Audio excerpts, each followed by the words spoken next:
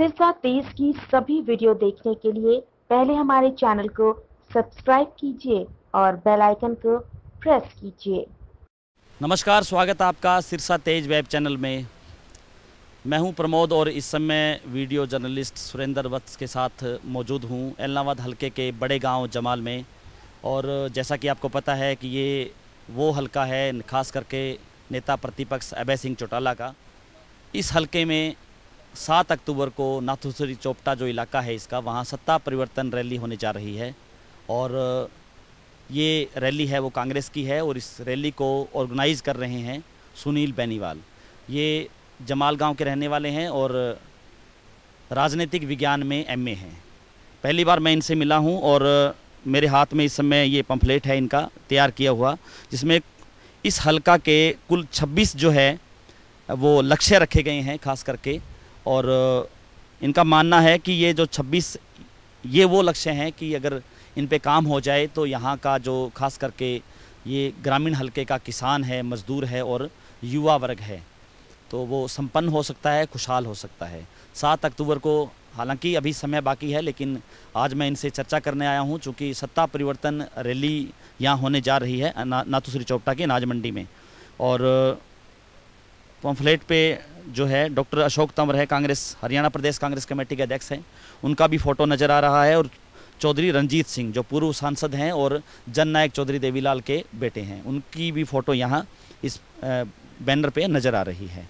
तो मैं चर्चा करता हूँ, सुनील बेनीवाल मेरे साथ इस समय मौजूद हैं। टोटल 26 जो अलग अलग जो वादे हैं, उनके, उनको लेकर के हम इनसे चर्चा करेंगे, क्योंकि ये राजनीतिक मामले में राजनीतिक हल्का कहा जाता है। एलनावादा क्षेत्र है।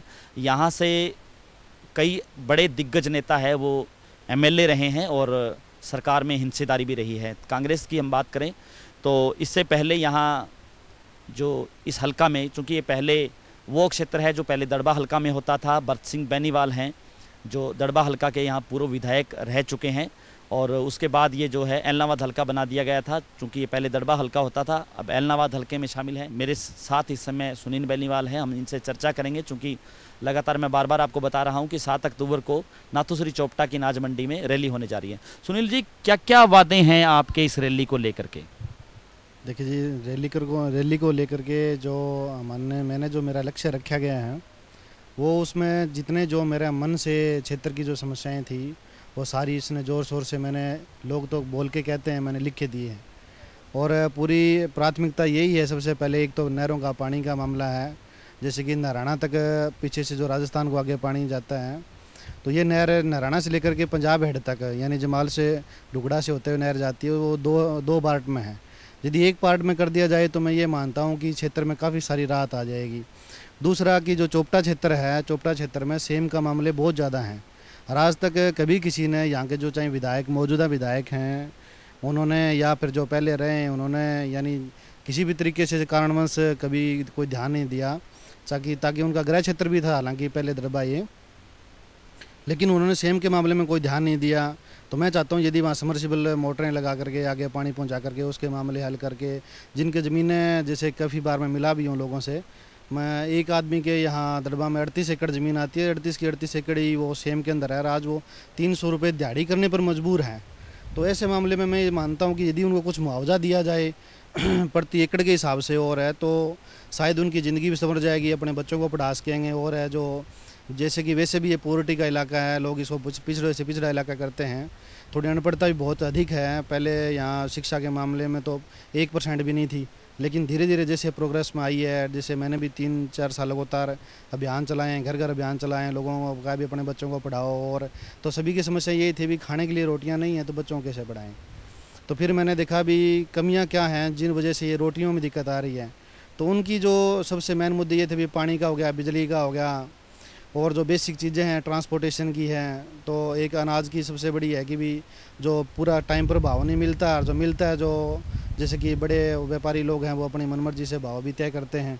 तो ऐसे ही यदि इन सभी से मैंने सोचा भी थोड़ा सभी से राय भी ली व्यापारियों से भी मिला हूँ मैं सभी से मिल के ये कहा भी यदि इंटर कम्युनिकेशन आपस में बनाया जाए तो क्या हो सकता? है तो मैंने देखा है अभी इस मामले में जो मैंने मेरे लक्ष्य रखे हैं वो हम इस पर कामयाबी स्तर पर हैं और क्षेत्र के यदि हल कर दिए जाएँगे तो इस क्षेत्र में कोई समस्या नहीं रहेगी। तो आप राजनीति में क्यों आना चाहते हैं? क्या बदलाव चाहते हैं? किस तरह की राजनीति होनी चाहिए? देखो जो पुराने कैंडिडेट जितने भी रहे हैं उन्होंने एक ही रेट लगा रखी है कि वंशवाद की लगा लो या फिर दूसरे की जो जैसे कि कोई लोगों से इतना अट्रैक्शन नहीं रहा उनका बीच का ये सारे अपने आप में समझने लगे हैं सभी कि हम ही हैं, सब कुछ जो भी हैं। लेकिन मैं ऐसा नहीं मानता। मैं मानता हूँ यदि सिंपलिसिटी में यदि सभी से मिला जाए, सभी की मन की बातें सुनी जाए, क्योंकि यहाँ पर मौजूदा में कोई मन की बात सुनने वाला नहीं रहा। ना सारा का सारे बस हैं भी ठीक है, कोई आए तो ठीक है, ना आए तो ना आए। मैं ऐसा सिस्टम पर नहीं चाहता मैं चाहता हूँ भी सभी की आवाज़ सुनी जाए, जो जितने दबे हुए, जो काम हैं, जो आज तक नहीं कर पाए किसी कारणवश भी, वो काम सिरे चढ़ाए जाएँ तो तब जाके मैं चाहता हूँ भी यदि जनता मौका दे तो शायद ये काम सिरे सिरे चढ़ा सकेंगे और इनके बीच में रह करके ही मैं काम करूँगा। इसीलिए मैं राजनीति में ज्वाइन करना चाहता हूँ, ताकि किसी तरीके का आम आदमी को जैसे परेशानियाँ सभी को हो रही है, मैं खुद को भी हो रही हैं तो ऐसा दोबारा ना हो। आम जन की बात ऊपर तक पहुँचाने के लिए मैं ये राजनीति ज्वाइन करना चाहता हूँ।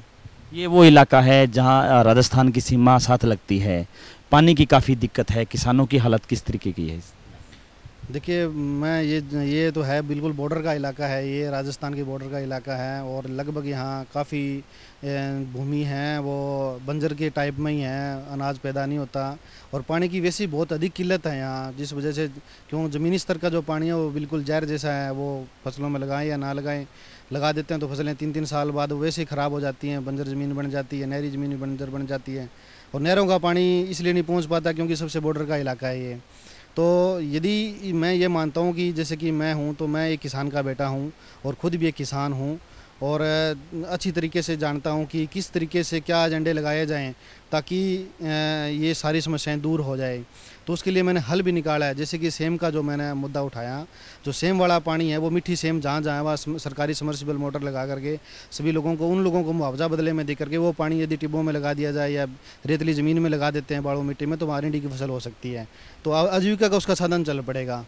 और जो दूसरे जो है, नहरों का पानी है, और है, यदि सभी से, पीछे से भी यदि थोड़ा गौर करके पानी के लिए ध्यान दिया जाए और दिया जाए ठीक है? तो ये मामला भी सिरे चढ़ सकता है, इतनी बड़ी बात नहीं है ये कि ना हो। लेकिन दूसरा ये जो नाली, जो, नाले जो सेम नाला जैसे यहाँ बना हुआ है, उसको जो ठेकेदारों ने जो उसमें पैसे पूसे खा करके कभी कहीं उसकी विर्थ कम कर दी, किसी उसकी ज़्यादा डेप्थ ज़्यादा कर दी तो ऐसे मामले हैं, वो ना हो।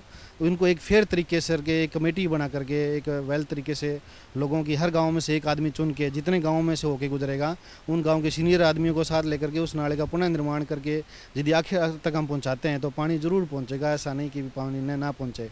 भाईचारा यहाँ ख़त्म कर दिया गया, राजनीतिक मामले ला करके, लोगों को एक दूसरे को लड़ा झगड़ा करके, मैं मानता हूँ यदि वो सारा एक एक हो जाएँ, यदि भाईचारा एक हो जाएगा तो पानी की भी तो क्या बड़ी बड़ी समस्याएँ हल हो हो सकती हैं।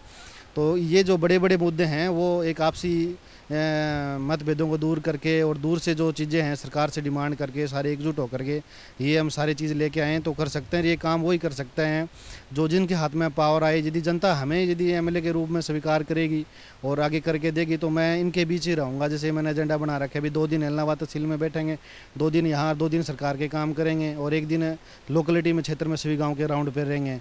तो यदि सात का सात दिन यदि वो देता है ठीक है तो ये मुद्दे भी हल किए जा सकते हैं। बड़ी बात नहीं है कि मुद्दे हल ना हो। तो शिक्षा के लिहाज से हम बात करें। शिक्षा के लिहाज से इस इलाके में आपने कोई इसमें शिक्षा का भी कोई ज़िक्र किया है? इस छब्बीस जो इन जो आपके जो ये छब्बीस लक्ष्य हैं उनमें शिक्षा का भी कहीं कोई ज़िक्र है? हाँ शिक्षा के लिहाज से देखो मैं शिक्षा से जुड़ा हूँ ठीक है और शिक्षा का ही प्रचार प्रसार में लगा भी हूँ। मुझे वेल तरीके से पता है कि मेरे क्षेत्र में क्या हो रहा है शिक्षा के मामले में क्या नहीं। तो शिक्षा के मामले में देखा जाए तो स्कूल्स हैं यहाँ। और कॉलेज तो एक ही महिला डिग्री कॉलेज है यहाँ, ठीक है? और दूसरा जो पहले महिला डिग्री कॉलेज नहीं होता था, एक बार 1970 के करीब या उन्यासी करीब खोला गया था, वो किसी कारणवश बंद कर दिया गया था, क्योंकि यहाँ स्टूडेंट्स नहीं होते थे, लोग पढ़ाते नहीं थे, क्योंकि लोगों, लोग पढ़ाते इसलिए नहीं थे क्योंकि उनको बाहर भेजने में और भेजने में बड़ी दिक्कतें आती थी। लेकिन अब ऐसा नहीं है, अब यहाँ एक महिला डिग्री कॉलेज भी खुल गया है, जिसमें चार सौ, साढ़े चार सौ बच्चियाँ भी पढ़ रही हैं और अच्छी पोजीशन पर बढ़िया सिस्टम से चल रहा है। और स्कूलों की स्थिति देखा जाए तो स्कूलों की स्थिति यदि हम सुधारेंगे यदि उसके एजेंडेज हैं, सरकार बार बार स्कूलों को तंग कर रही है, परेशान कर रही है, ये एन ओ सी ले आओ, उसकी वो ले के आओ, यानी वो ध्यान दे करके यदि स्कूलों को मोटिवेशनल सिस्टम में डाला जाए, जितना पैसा सरकार प्राइवेट सरकारी स्कूलों पर खर्च कर रही है, यदि उसका एक परसेंट पैसा भी यदि सालाना, एक ऋण के तौर पर दे दो या कम विदाउट इंटरेस्ट दे दो, यदि प्राइवेट स्कूल को दे ठीक है, या फिर प्राइवेट स्कूल के मुखिया को, जैसे कि मैंने कहा, भी सरकारी प्रिंसिपल को सत्तर अस्सी हज़ार रुपये तनख्वाह मिलती है।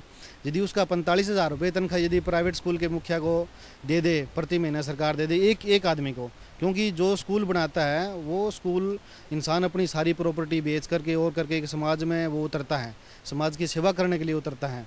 और वो सेवा सेवा भी करता है, उसमें वो सारी प्रकार की डील्स करता है। किसी बच्चे की फ़ीस किसी के पास होती नहीं विदाउट पेरेंट्स जो बच्चे होते हैं, उनके भी मामले वो सारे देखता है। यानी तो मैंने देखा भी, यदि हम किसी स्कूल संचालक को या स्कूल मुखिया को, एक को यदि सरकार नौकरी दे दे, सरकारी वेतन दे दे, बाकी अलाउंसेस बेशक ना दे, लेकिन तनख्वाह तनख्वाह उसको दे दे ताकि उसके बच्चे सिक्योर रहें कि जी हमें स्कूल को यदि कोई बात होती है या स्कूल में फंड्स की ज़्यादा ज़रूरत होती है तो वो अपनी तनख्वाह भी वहाँ लगा सके। यानी यूटिलाइज़ तो होगा, वहीं करेगा। इसलिए जो यहाँ पिछड़ा इलाका है, ग्रामीण इलाका है सारा, समय पर लोग फ़ीस नहीं दे पाते क्योंकि बड़ी दिक्कतें होती हैं, इनको अनाज नहीं पैदा होता यहाँ। किसी की सेम में जगह आ गई, किसी के खेतों में ट्यूबवेल का पानी नहीं है, किसी के लाइट की समस्या है, आठ घंटे लाइट आती है तो लंबा चौड़ा रकबा है तो कितनी की वो मोटरें नहीं मिलती टाइम पर। तो इन वजह से वो ना अनाज के भाव मिलते, जिस वजह से किसी प्राकृतिक आपदाएँ बहुत आती हैं। ठीक है, और ये फ़सल बीमा योजनाएँ जैसी चली हैं, इनका कोई बेनिफिट नहीं हो रहा है इस क्षेत्र में। तो पुरटी टू पुरटी जा रही है तो एजुकेशनल पर बड़ा अधिक अधिक इफ़ेक्ट पड़ रहा है इस चीज़ पर। यदि हम एजुकेशनली मामले में देखा जाए तो एजुकेशनल सिस्टम को यदि मज़बूत कर देंगे, यदि स्कूल्स को मज़बूत कर दिया जाए तो मैं मानता हूँ, आधे से ज़्यादा पेरेंट्स की भी समस्याएँ हल हो जाएँगी। इस मामले में। तो इसलिए ये बैकवर्ड क्षेत्र है शिक्षा के मामले में। अब जो स्कूल जो प्रयास कर रहे हैं, उनको दिनों दिन दिनों दिन गवर्नमेंट दुखी करती जा रही है। किसी को कोई लाभ कभी नहीं पहुँचाया गवर्नमेंट ने। यदि मैं ये मानता हूँ, यदि उनको कुछ सरकार रात दे फ्रीडम दे, कुछ कुछ आज़ादियाँ दे, भी ठीक है। हम उनके साथ कुछ खड़ी नज़र आए तो शायद मैं मानता हूँ एजुकेशनल सिस्टम सुधर जाएगा। तो क्या लगता है, आपकी ये रैली है वो इस इस इलाके में बदलाव की कोशिश करेगी, बदलाव लाने की? देखो, मैंने जो रैली का जो प्रस्ताव लोगों के सामने रखा है, मैं बहुत सारे इलाकों में विज़िट भी करी है गाँव गाँव गया भी हूँ। तो मुझे ये लगता है कि बदलाव की जो रैली की मैंने मुहिम चलाई है, इसमें सारे लोग एक साथ, एकजुट होकर के सारा साथ देंगे। और ऐसी उम्मीद नहीं, बल्कि विश्वास है मेरे क्षेत्र पर मुझे, क्योंकि मैं मेरे क्षेत्र को वेल तरीके से जानता भी हूँ। और पर्सनली लोगों से टच टच में रहा हूँ, पंद्रह दस साल में लगातार रहा हूँ। तो मेरा किसी पार्टी विशेष को न देख करके मैं ये मानता हूँ कि मैं एक आमजन की समस्या सुनूँ और वो मेरी मन की बात सुने। ठीक है तो मिल के हम मुद्दे हल करें और करें तो रैली में मैं भी कामयाबी स्तर पर आएगी। सत्ता में बदलाव ज़रूर होगा।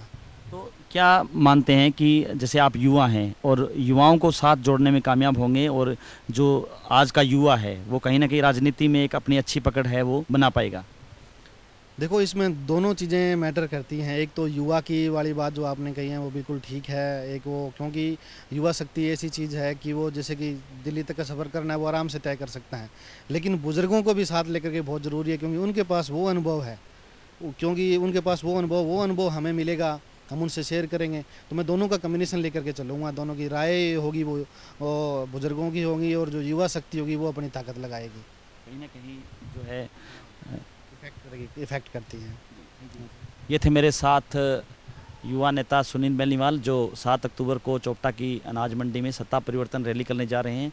काफ़ी जो लक्ष्य हैं इनके 26 के करीब लक्ष्य हैं और कहीं ना कहीं जो है, उत्साह और जोश है, उसको देख करके लग रहा है कि कहीं ना कहीं ये जो रैली है, इस इलाके में, खास करके ग्रामीण इस इलाके में ये पिछड़ा इलाका भी कहा जा सकता है, इस इलाके में नए आयाम है वो स्थापित कर सकती है। हमारे साथ आप लगातार बने रहिए सिरसा तेज के लिए। हमारे यूट्यूब चैनल को सब्सक्राइब कीजिए और अगर ये वीडियो आप फेसबुक या ट्विटर पर देख रहे हैं तो हमारे पेज को फॉलो कीजिए। बहुत बहुत शुक्रिया।